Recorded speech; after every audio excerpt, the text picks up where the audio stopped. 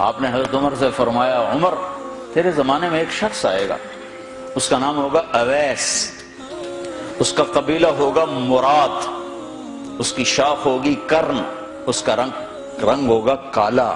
कद होगा दरमियाना। और एक सफ़ेद निशान उसके जिसम पर होगा। जब वो आए तो तुम उससे दुआ कराना। अली, तू भी कराना, उमर, तू भी कराना। और मैं कसम खा के कहता हूँ कि ओवैस जैसों से दुनिया भर जाए तो उमर और अली के एक बदन के बाल के बराबर नहीं। लेकिन इसके ज़रिए से एक पैगाम आगे पहुंचाना था। तो हज़रत उमर और हज़रत अली हैरान होकर देखने लगे कि हमें कहा जा रहा है कि अवैस से दुआ करवाएँ। वो, हम सहाबी, वो ताबे तो आपने फरमाया, उसने माँ की ऐसी खिदमत की है, जब वो हाथ उठाता है तो अल्लाह हाथ वापस खाली मोड़ता ही नहीं। ये पैगाम पहुंचाना था। कि माँ बाप के आगे झुको। जिस देश में आप रहते हैं, यहाँ काम की रफ्तार बहुत तेज है। माँ बाप अगर मौजूद हैं तो कम ही कुछ नसीबों वाले हैं जिनको कुछ औलाद की खिदमत मिलती है। वरना दीवारों के साथ ही ज़िंदगी गुजर रही होती है। तो उमर रज़ी जब खलीफा बने तो हर साल हज करते थे। हर साल उनको ढूंढवाते।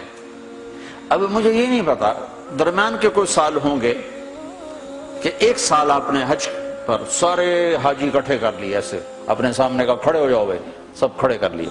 कहने लगे, बैठ जाओ, सारे यमन वाले खड़े रहो।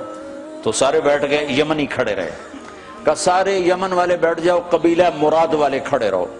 तो सारे यमनी बैठ गए मुराद वाले खड़े रहे। इस साल मैं यमन गया जमात में तो अवैस करने के गाँव गया।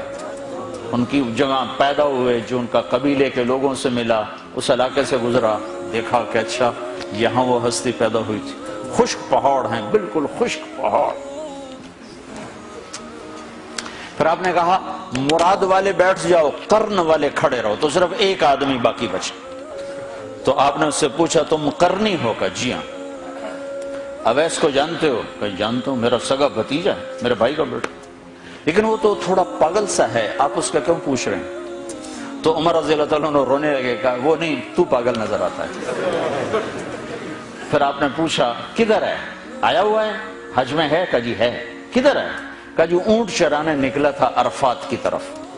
तो हज़रत उमर ने हज़रत अली को साथ लिया और दौड़ लगाई। और पहुँचे अरफात की तरफ़।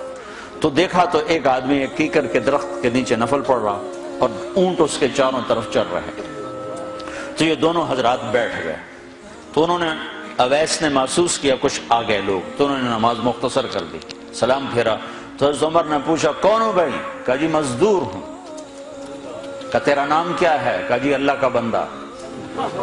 का भाई, हम के बंदे हैं, मैं पूछ रहा हूँ, जो नाम तेरी माँ ने तेरा रखा, वो क्या है? तो वो कह, वो तो पहचानता नहीं था कि उमर कौन है, अली कौन है तो पहली दफ़ा हज पे थे वो कहने लगा, तुम कौन हो मेरा इंटरव्यू करने वाले? इंटरव्यू तो मैं अपनी तरफ़ से कह रहा हूँ। तुम कौन हो मेरा पूछने वाले? तो हज़रत अली बोले, ये अमीरुल मोमिनीन है उमर बिन खत्ताब और मैं हूँ अली बिन अबी तालिब। फिर वो ऐसे एकदम घबराए दोनों को सलाम किया, मैं मजरत चाहता हूँ। मैंने पहचाना नहीं।